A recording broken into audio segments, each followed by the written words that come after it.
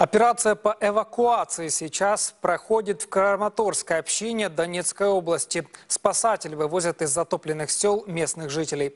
По информации главы местной областной военной администрации Павла Кириленко, подтоплены сотни домов. От большой воды уже спасли 5 и эвакуировали 17 человек, среди которых двое детей. В село Городещина остаются подтопленными 209 домохозяйств и 51 частный дом. Подтопление случилось из-за того, что в одном из озер города была частично разрушена водосбросной шлюз, в результате чего произошел неконтролируемый сброс воды. На месте происшествия работают спасатели, коммунальные службы. Чтобы минимизировать последствия разлива, возводят бетонное заграждение и расчищают русло реки, а также расселяют людей из затопленных домов во временное жилье. Сейчас уровень воды постепенно уменьшается.